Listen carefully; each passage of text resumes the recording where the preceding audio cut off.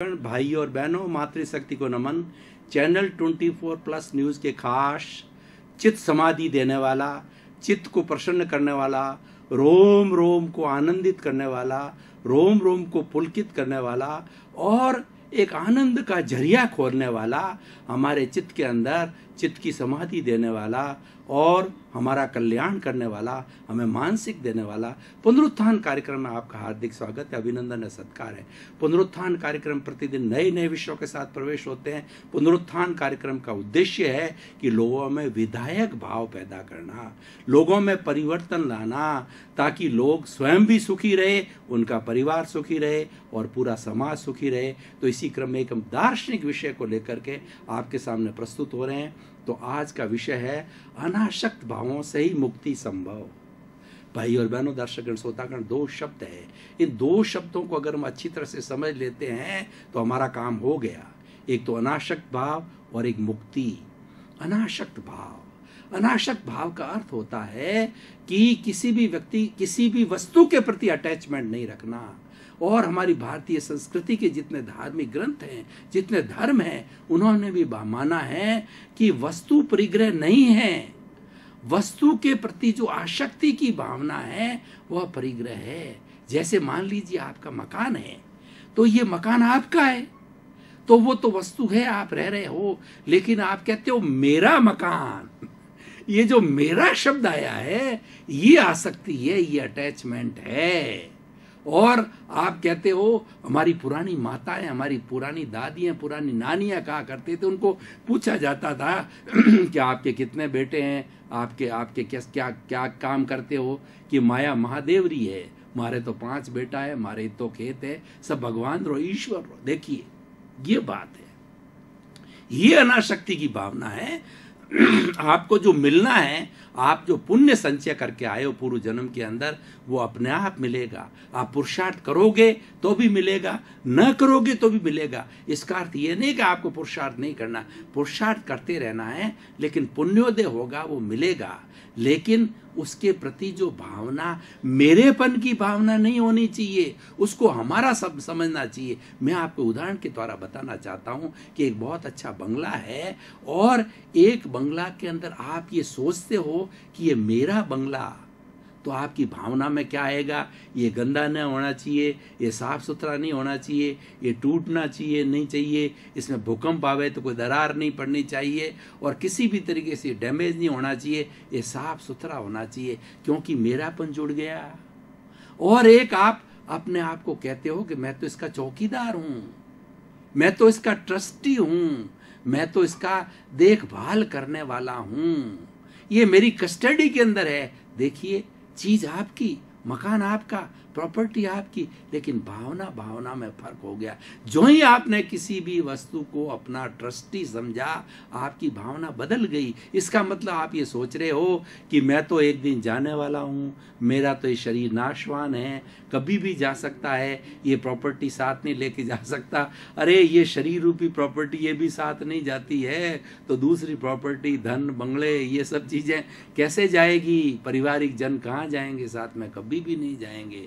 तो ये चिंतन करने का लिए चिंतन कैसे आएगा? अनाशक्त भावों से आएगा और अनाशक्त भावों से ही मुक्ति है। मुक्ति की बात कहते हैं, मुक्ति क्या है? मुक्ति का अर्थ होता है किसी भी चीज़ के साथ अपने आप को जोड़ना नहीं।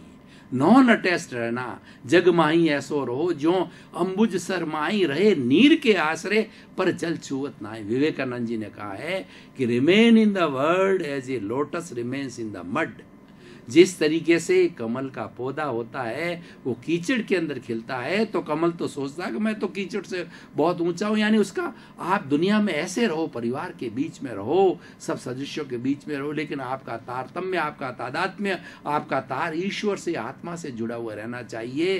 तो कीचड़ क्या समझता है? वो तो मेरे साथ है। कमल सोचता है, मैं तो इससे ऊपर उठाऊं दोनों का काम हो गया।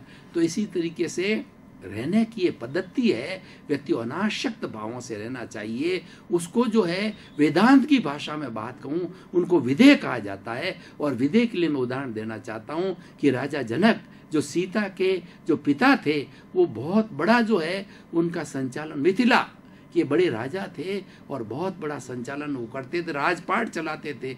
लेकिन वो विदेह थे। विदेह का अर्थ होता है कि शरीर में रहते हुए शरीर का भान न होना, शरीर को अलग समझना, आत्मा को अलग समझना। वो तो समझते थे कि मैं तो आत्मा हूँ और आत्मा कभी भी जाने वाली, वो अजर है, अमर है, वो जो है, वो अनंत ज्ञान वाला है, अनंत दर्शन वाला है, अनंत शक्ति वाला है और अनंत सुख का धाम है।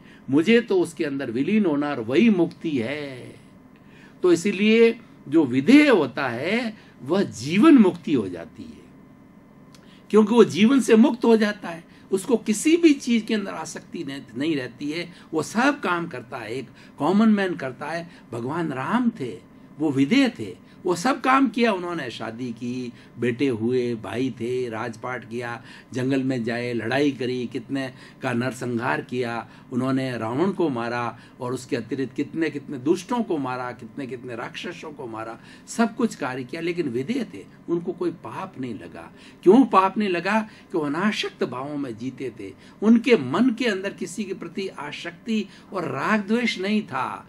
वो किसी को मारते थे तो ये नहीं कि इसको जो द्वेष के रूप में मारा जाए, वो तो अपना कर्तव्य समझते थे कि ये जो राम के भक्त हैं, यानी जो प्रभु भक्ति करने वाले हैं, उनको ये सताते हैं मतलब ये सज्जन लोगों को सताते हैं, दुष्ट लोग हैं तो ये दुष्ट लोग किस काम के? इसीलिए उनका जो है, वो मारा करते थे, वो ये जस्टिस था उनका, और वह जो है, वो बिल्कुल जो कार्य करते थे, कर्तव्य भावना से करते थे।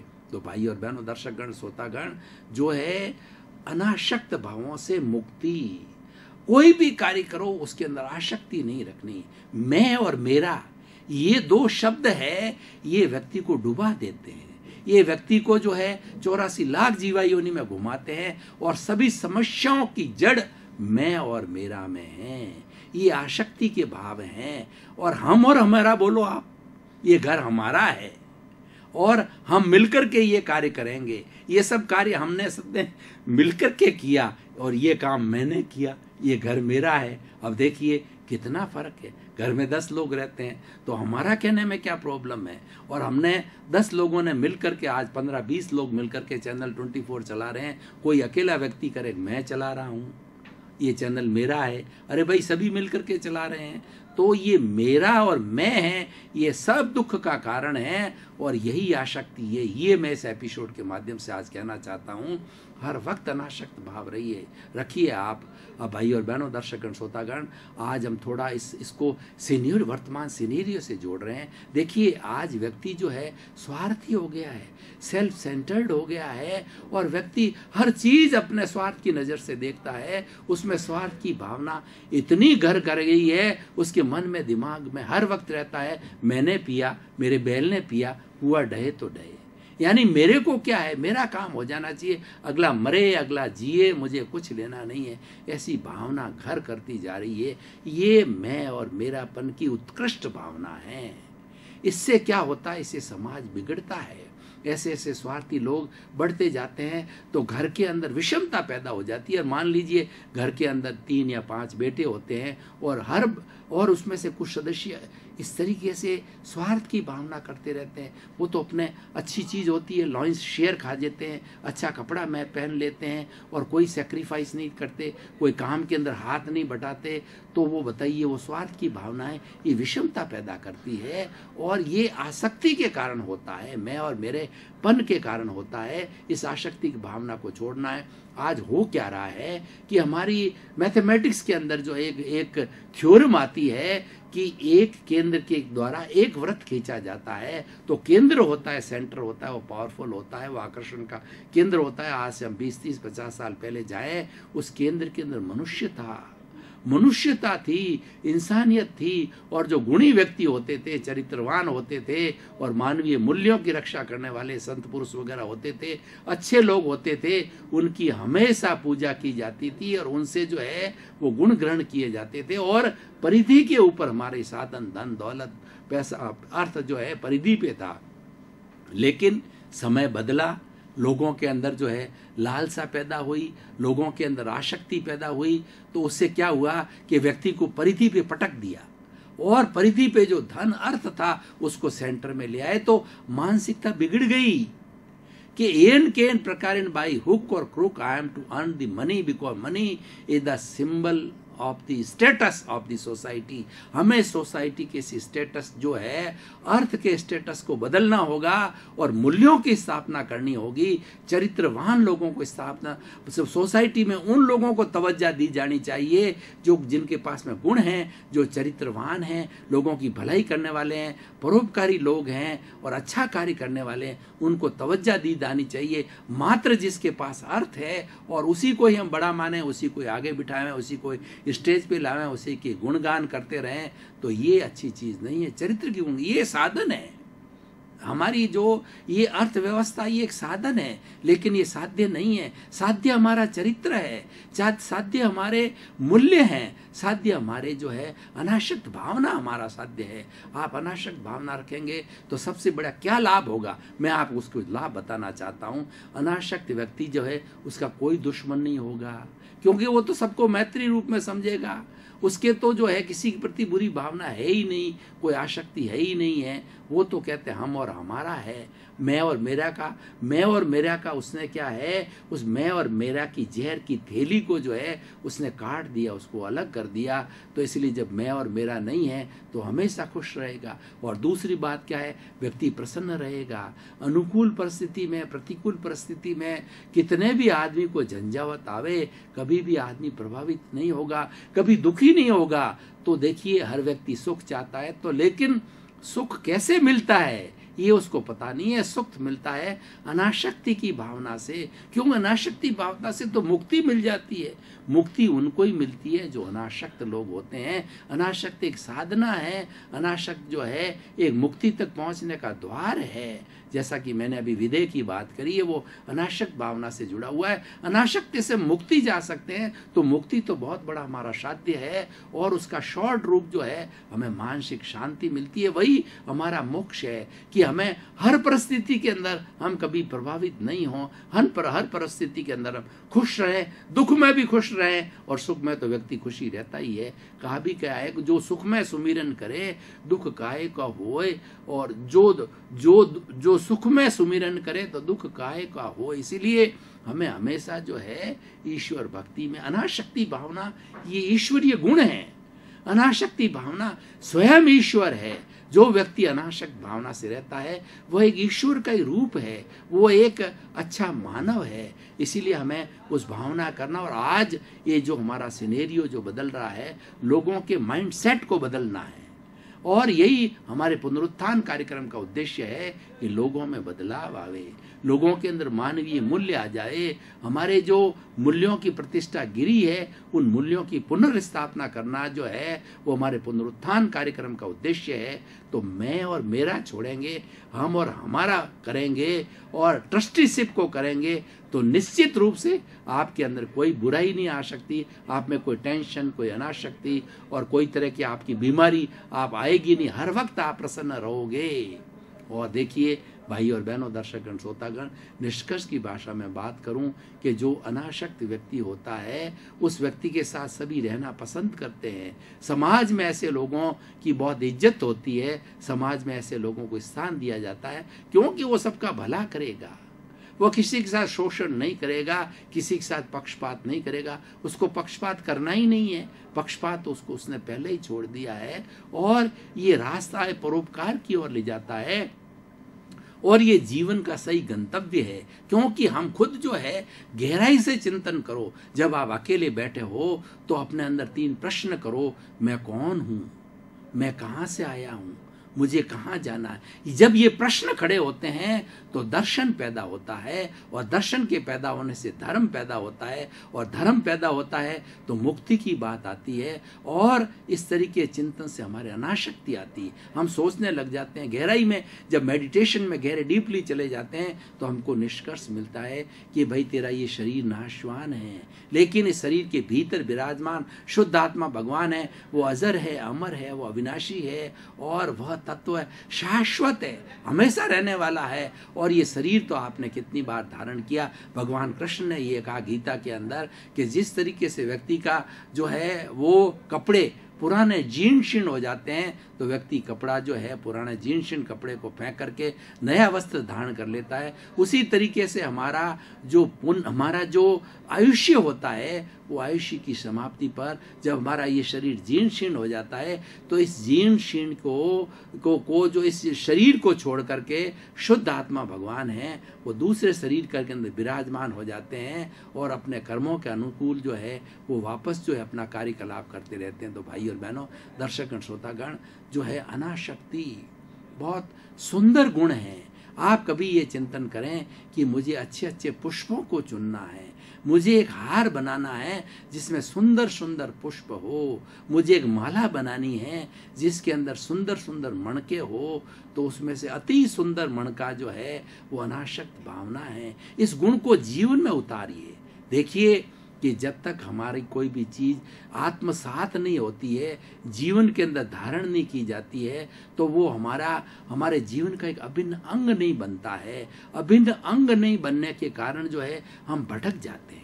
हमको अगर स्थिर रहना है और अच्छा जीवन जीना है तो हम सुंदर सुंदर गुणों को धारण करें। उसमें से अति सुंदर गुण है, ये अनाशक्ति की भावना है। अनाशक्ति भावना आप करके देखिए।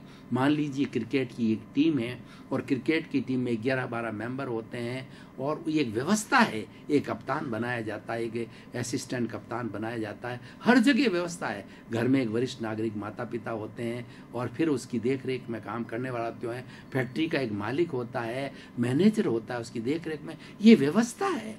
लेकिन उस व्यवस्था के अंदर जो है, सबको हिलमिल करके काम करना। सभी यही सोचे कि हम इसके पार्ट एंड पार्शल एक फैक्ट्री के हज़ार मजदूर है। हर मजदूर के अंदर अनाशक्ति की भावना होनी चाहिए कि मेरी फैक्ट्री जो है, वो बहुत अच्छा अर्न करनी चाहिए और फैक्ट्री के मालिक के अंदर ये अनाशक्ति की भावना होनी चाहिए कि मुझे जितना इसका शेयर चाहिए, दस परसेंट बीस परसेंट बाकी का जो अस्सी परसेंट बचा हुआ है, मजदूरों ने कमाया है।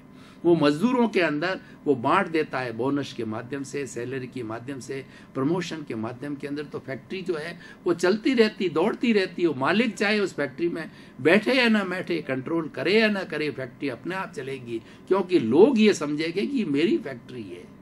ये हम सबकी फैक्ट्री है और इसी का नाम सर्वोदय है। जब हम ऐसी सुंदर भावना करेंगे तो उसका रिज़ल्ट क्या आएगा कि हमारी प्रकृति के अंदर जो नेगेटिविटी बढ़ी बढ़ जाए, बढ़ गई है, उसकी जगह पॉजिटिव, अनाशक्ति का भाव पॉजिटिव का जाएगा, उस नेगेटिविटी हटाएगा, उसको जो जो लोग ज़्यादा जो है अच्छी अच्छी बातें सोच करके और इस प्रकृति के अंदर, इस नेचर माँ के अंदर छोड़ेंगे तो हमारा वायुमंडल, हमारा जो विचारों का प्रदूषण है, वो प्रदूषण हटेगा और हमारे सुंदर विचार मिलेंगे। देखिए, पुद्गलों का अपना प्रभाव होता है। विचार एक पुद्गल है कि आप कोई ऐसी अच्छी जगह जो मंदिर में चले गए या बड़े संत के पास जाकर के बैठ गए तो वहाँ पर क्योंकि पुद्गल अच्छे हैं अच्छा चिंतन किया जाता है। वक्त में वहाँ आपको शांति मिलेगी, सुकून मिलेगा, आनंद मिलेगा। और दूसरी जगह जहाँ पर बुराई की भावना अपराध किए जाते हैं, जहाँ मिलावट की जाती है, चोरी की जाती है, डकैती की जाती है, हिंसा की जाती है, लुटेरे रहते हैं तो वहाँ के परमाणु अशुद्ध होते हैं। वहाँ जाके आपको भय लगेगा। आप आप सोचेंगे कि यहाँ डर लग रहा है, मैं मरूँगा, मुझे मार देगा, कोई मेरा जो है मर्डर कर देगा।